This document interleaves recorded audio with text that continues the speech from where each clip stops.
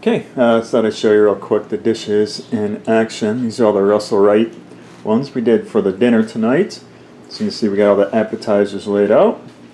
Looks pretty fantastic. But these uh, these glasses are actually um, not Russel Wright, but they're from my girlfriend's uh, great grandmother. So thought those would be pretty fun.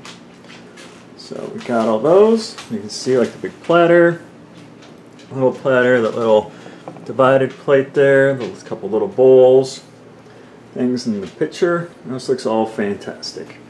And then we're also going to have a little Les Paul and Mary Ford, which was my grandpa's album playing. So that's it. That was kind of fun. Show you guys these things in use, and that's it. Thanks. Bye.